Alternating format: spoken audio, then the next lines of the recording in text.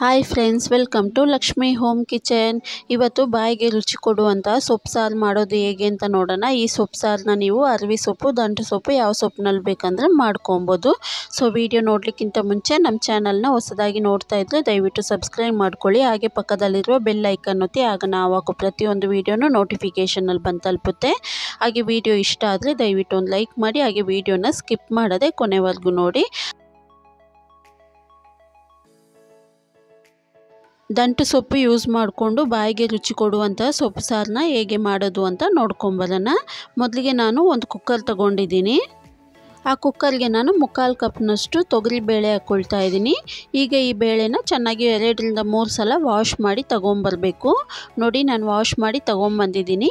ಈಗ ಬೇಳೆ ಬೇಯೋದಕ್ಕೆ ಎಷ್ಟು ನೀರು ಬೇಕೋ ಅಷ್ಟು ನೀರು ಹಾಕ್ಕೊಳ್ಳೋಣ ಹಾಗೆ ನಾನು ದಂಟು ಸೊಪ್ಪನ್ನ ಕಟ್ ಮಾಡಿ ಚೆನ್ನಾಗಿ ವಾಶ್ ಮಾಡಿ ತೆಗೆದಿಟ್ಕೊಂಡಿದ್ದೀನಿ. ಒಂದು ಮೂರಿಂದ ನಾಲ್ಕು ಸಲನಾದ್ರು ವಾಶ್ ಮಾಡ್ಕೊಬೇಕು. ಅದರಲ್ಲಿ ಮಣ್ಣೆಲ್ಲ ಇರುತ್ತೆ. ಸೊ ಹಾಗಾಗಿ ನೀಟಾಗಿ ವಾಶ್ ಮಾಡಿ ನೀರೆಲ್ಲ ತೆಗೆದು ಇಟ್ಕೊಂಡಿದ್ದೆ. ಸೊ ಅದನ್ನು ಕುಕ್ಕರ್ಗೆ ಹಾಕೊಳ್ಳೋಣ. ಹಾಗೆ ಒಂದೆರಡು ಈರುಳ್ಳಿನ ಚಿಕ್ಕ ಚಿಕ್ಕದಾಗಿ ಕಟ್ ಮಾಡಿ ಹಾಕೊಳ್ತಾ ಇದ್ದೀನಿ. ಹಾಗೆ ಒಂದು ಚಿಕ್ಕ ತುಂಡು ಹುಣಸೆಹಣ್ಣು ಹಾಕ್ಕೊಳ್ತಾ ಇದ್ದೀನಿ. ಹುಣಸೆಹಣ್ಣು ಜಾಸ್ತಿ ಬೇಕಂದರೆ ಹಾಕೊಬೋದು. ಈ ಸೊಪ್ಪು ಸಾರು ಬಂದು ಹುಳಿ ಹುಳಿ ಇದ್ದರೆ ಚೆನ್ನಾಗಿರುತ್ತೆ.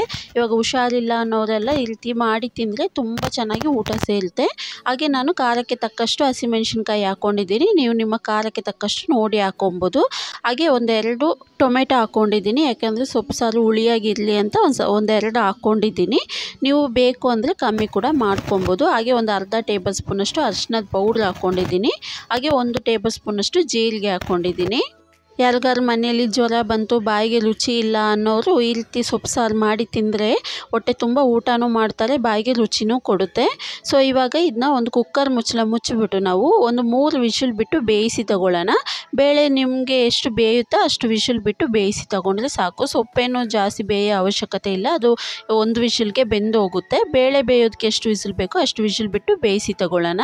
ನಾನು ಮೂರು ವಿಷಲ್ ಬಿಟ್ಟು ಬೇಯಿಸಿ ತಗೊಂಡಿದ್ದೀನಿ ನೋಡಿ. ಸೊಪ್ಪನ್ನು ಚೆನ್ನಾಗಿ ಬೆಂದಿದೆ. ಹಾಗೆಯೇ ಬೇಳೆ ಕೂಡ ಚೆನ್ನಾಗಿ ಬೆಂದಿದೆ.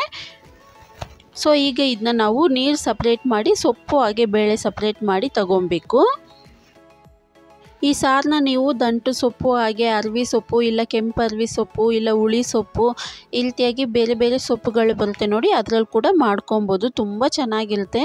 ತುಂಬ ಅಂದರೆ ತುಂಬ ಬಾಯಿಗೆ ರುಚಿ ಕೊಡುತ್ತೆ. ಊಟನೇ ಸೇರ್ತಾ ಇಲ್ಲ ನಮಗೆ, ಬಾಯಿಗೆ ರುಚಿನೇ ಹಿಡಿಸ್ತಾ ಇಲ್ಲ. ಏನಪ್ಪ ಮಾಡೋದು, ಏನು ತಿಂದರೂ ಕಹಿ ಕಹಿ ಅನಿಸುತ್ತೆ ಅನ್ನೋರು ಖಂಡಿತವಾಗ್ಲೂ ಇಲ್ಲಿ ಈ ರೀತಿಯಾಗಿ ಸೊಪ್ಪು ಸಾರು ಮಾಡಿ ಬಿಸಿ ಬಿಸಿ ರೈಸ್ ಜೊತೆಗೆ ತಿಂತಾ ಇದ್ದರೆ ನೀವು ಎಷ್ಟು ಊಟ ಮಾಡ್ತೀರಾ ಅನ್ನೋದೇ ಮರ್ತೋಗುತ್ತೆ. ಅಷ್ಟು ಹೊಟ್ಟೆ ತುಂಬ ಊಟ ಮಾಡ್ತೀರಾ. ತುಂಬ ಅಂದರೆ ತುಂಬ ಚೆನ್ನಾಗಿರುತ್ತೆ. ಹಾಗೆ ತುಂಬ ಆರೋಗ್ಯಕ್ಕೂ ಒಳ್ಳೆಯದಲ್ವ ಸೊಪ್ಪು? ಸೊ ನಾವು ಇವಾಗ ಸೊಪ್ಪು ಹಾಗೆ ಬೇಳೆನ ಸಪ್ರೇಟ್ ಮಾಡಿ ತೆಗೆದಿಟ್ಕೊಂಡಿದ್ದೀವಿ. ನೀರು ಒಂದು ಸ್ವಲ್ಪ ಹಾಗೆ ಇದೆ. ಅದನ್ನು ಆಚೆ ಎತ್ತಿಟ್ಕೊಂಬಿಡೋಣ. ಈ ಥರ ಒಂದು ಕಡುಗೋಳನ್ನ ತಗೊಂಡಿದ್ದೀನಿ. ನೀವು ಮ್ಯಾಶರ್ನ ಮೂಲಕ ಕೂಡ ಮ್ಯಾಶ್ ಮಾಡ್ಕೊಬೋದು. ನಾನು ಕಡ್ ಕಡುಗೋಳನ್ನ ಮೂಲಕ ಮ್ಯಾಶ್ ಮಾಡ್ಕೊಳ್ತಾ ಇದ್ದೀನಿ. ಇಲ್ಲ ಅಂದರೆ ನೀವು ಬೇಕಂದರೆ ಸೊಪ್ಪು ಸೊಪ್ಪೆಲ್ಲ ಒಂದು ಸ್ವಲ್ಪ ಚೆನ್ನಾಗಿ ಆರಿದ ಮೇಲೆ ಮಿಕ್ಸಿಯಲ್ಲಿ ಕೂಡ ರುಬ್ಬಿ ತಗೊಬೋದು. ಸೊ ನಾನು ಮತ್ತನ ಮೂಲಕನೇ ಮ್ಯಾಶ್ ಮಾಡ್ಕೊಳ್ತಾ ಇದ್ದೀನಿ. ನೀವು ಮಿಕ್ಸಿಯಲ್ಲಿ ಮಾಡುವಾಗಲೂ ಅಷ್ಟೇ ಜಾಸ್ತಿ ನೈಸಾಗಿ ರುಬ್ಕೊಳ್ಳೋಕ್ಕೆ ಹೋಗಬೇಡಿ. ಒಂದು ಸ್ವಲ್ಪ ಹಾಗೆ ಹಾಗೆ ಇರಬೇಕು, ಸೊಪ್ಪು ಹಾಗೆ ಬೇಳೆ. ಆವಾಗಲೇ ತಿನ್ನಲಿಕ್ಕೆ ಚೆನ್ನಾಗಿರುತ್ತೆ. ನೋಡಿ, ನಾನು ಇಲ್ತಿಯಾಗಿ ಮ್ಯಾಶ್ ಮಾಡ್ಕೊಂಡಿದ್ದೀನಿ. ಬೇಳೆ ಚೆನ್ನಾಗಿ ಬೆಂದಿದ್ರೆ ನಿಮಗೆ ಮಿಕ್ಸಿಯಲ್ಲಿ ರುಬ್ಬಬೇಕು ಅನ್ನೋ ಅವಶ್ಯಕತೆ ಇಲ್ಲ. ಇಲ್ತಿಯಾಗಿ ಒಂದು ಮತ್ತು ಅಥವಾ ಗ್ಲಾಸ್ನ ಮೂಲಕ ನೀವು ಮ್ಯಾಶ್ ಮಾಡ್ಕೊಬೋದು ಆರಾಮಾಗಿ. ಸೊ ಈಗ ನಾವು ಸೊಪ್ಪೆಲ್ಲ ಚೆನ್ನಾಗಿ ಮ್ಯಾಶ್ ಮಾಡ್ಕೊಂಡಿದ್ದೀವಿ. ಈಗ ನಾವು ತೆಗೆದಿಟ್ವಲ್ಲ ಸೊಪ್ಪನ್ನ ಬೇಯಿಸಿದ ನೀರು, ಅದರಲ್ಲಿ ನಾವು ಇದನ್ನ ಹಾಕ್ಕೊಳ್ಳೋಣ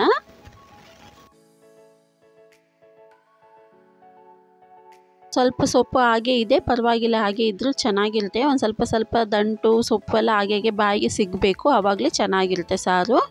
ಸೊ ಸೊಪ್ಪೆಲ್ಲ ಹಾಕೊಂಡ್ಮೇಲೆ ಒಂದು ಸಲ ಚೆನ್ನಾಗಿ ಮಿಕ್ಸ್ ಮಾಡ್ಕೊಳ್ಳೋಣ. ಮಿಕ್ಸ್ ಮಾಡಿಬಿಟ್ಟು ಒಂದು ವೇಳೆ ನಿಮಗೆ ತುಂಬ ತಿಕ್ಕಾಗಿದೆ ಅಂದರೆ ಬೇಕು ಅಂದರೆ ನೀರು ಹಾಕೊಬೋದು. ಇಲ್ಲ ತಿಕ್ನೆಸ್ ಇಷ್ಟೇ ಸಾಕು ಅಂದರೆ ಇಷ್ಟಕ್ಕೂ ಬಿಡ್ಬೋದು. ಸ್ವಲ್ಪ ತಿಕ್ಕಾಗಿದ್ರೇ ಸಾರು ಚೆನ್ನಾಗಿರೋದು. ಜಾಸ್ತಿ ನೀರಾಗಿದ್ದರೆ ಅಷ್ಟು ಚೆನ್ನಾಗಿರಲ್ಲ. ಸೊ ನಿಮಗೆ ಯಾವ ರೀತಿ ಇಷ್ಟನೋ ಆ ರೀತಿ ಮಾಡ್ಕೊಬೋದು. ಸೊ ಈಗ ಇದನ್ನ ನಾವು ಸ್ಟವಲ್ಲಿ ಇಟ್ಕೊಂಡು ಒಂದೆರಡು ನಿಮಿಷ ಚೆನ್ನಾಗಿ ಕುದಿಸ್ಕೊಬೇಕು. ಯಾಕಂದರೆ ನಾವು ಮ್ಯಾಶ್ ಮಾಡಿರ್ತೀವಲ್ಲ, ಹಾಗೆ ಒಂದು ಸ್ವಲ್ಪ ಉಪ್ಪು ಹಾಕ್ಕೊಳ್ಳೋಣ ನೀವು ಬೇಕು ಅಂದರೆ ಸೊಪ್ಪು ಬೇಯಿಸುವಾಗಲೇ ಉಪ್ಪು ಹಾಕ್ಕೊಂಡು ಬೇಯಿಸ್ಕೊಬೋದು. ನಾನು ಈ ಟೈಮ್ನಲ್ಲಿ ಉಪ್ಪು ಹಾಕ್ಕೊಂಡಿದ್ದೀನಿ ಉಪ್ಪೆಲ್ಲ ಹಾಕ್ಕೊಂಡು ಒಂದು ಸಲ ಚೆನ್ನಾಗಿ ಮಿಕ್ಸ್ ಮಾಡಿಕೊಂಡು ಒಂದೆರಡು ನಿಮಿಷ ಚೆನ್ನಾಗಿ ಕುದಿಸ್ಕೊಳ್ಳೋಣ. ಜಾಸ್ತಿ ಹೊತ್ತು ಕುದಿಸೋ ಅವಶ್ಯಕತೆ ಇಲ್ಲ. ಒಂದೆರಡು ನಿಮಿಷ ಕುದ್ದರೆ ಸಾಕು. ನೋಡಿ ಚೆನ್ನಾಗಿ ಕುದ್ದು ರೆಡಿಯಾಗಿದೆ ಸಾರು. ಸೊ ನಾನು ಇಷ್ಟು ತಿಕ್ಕಾಗಿ ಮಾಡ್ಕೊಂಡಿದ್ದೀನಿ. ನಿಮಗೆ ಇನ್ನೂ ತಿಕ್ಕಾಗಿ ಬೇಕು ಅಂದರೆ ನೀರನ್ನ ಒಂದು ಸ್ವಲ್ಪ ಕಮ್ಮಿ ಮಾಡಿಕೊಂಡ್ರೆ ಸಾಕು. ಇನ್ನು ಇದಕ್ಕೆ ನಾವು ಒಗ್ಗರಣೆಗೆ ರೆಡಿ ಮಾಡ್ಕೊಳ್ಳೋಣ. ಒಂದು ಕಡಾಯಿ ಸ್ಟವಲ್ಲಿ ಇಟ್ಕೊಂಡಿದ್ದೀನಿ. ಕಡಾಯಿ ಬಿಸಿ ಆಗ್ತಾ ಇದ್ದಂಗೆ ಒಂದು ಸ್ವಲ್ಪ ಎಣ್ಣೆ ಹಾಕ್ಕೊಂಡು ಅದಕ್ಕೆ ಒಂದು ಟೇಬಲ್ ಸ್ಪೂನಷ್ಟು ಸಾಸಿವೆ ಹಾಕ್ಕೊಂಡು ಸಾಸಿವೆ ಎಲ್ಲ ಚೆನ್ನಾಗಿ ಚಿಟಪಟ ಅನ್ನೋವರೆಗೂ ವೆಯ್ಟ್ ಮಾಡೋಣ. ಸಾಸಿವೆ ಚೆನ್ನಾಗಿ ಫ್ರೈ ಆಗ್ತಾ ಇದ್ದಂಗೆ ಒಂದು ಕಾಲು ಟೇಬಲ್ ಸ್ಪೂನಷ್ಟು ಹಿಂಗೆ ಹಾಕ್ಕೊಳ್ತಾ ಇದ್ದೀನಿ. ಹಿಂಗು ಕೂಡ ತುಂಬ ಒಳ್ಳೆಯದು ಆರೋಗ್ಯಕ್ಕೆ ಸೊ ಹಿಂಗೆಲ್ಲ ಹಾಕೊಂಡ್ಮೇಲೆ ಒಂದು ಟೇಬಲ್ ಸ್ಪೂನಷ್ಟು ಜೀರಿಗೆ ಹಾಕ್ಕೊಳ್ಳೋಣ ಹಾಗೆ ಒಂದು ಸ್ವಲ್ಪ ಬೆಳ್ಳುಳ್ಳಿನ ಜಜ್ಜಿ ಹಾಕ್ಕೊಳ್ತಾ ಇದ್ದೀನಿ. ಬೆಳ್ಳುಳ್ಳಿ ಒಂದು ಸ್ವಲ್ಪ ಜಾಸ್ತಿ ಹಾಕ್ಕೊಂಡ್ರೆ ಚೆನ್ನಾಗಿರುತ್ತೆ ಒಗ್ಗರಣೆಗೆ.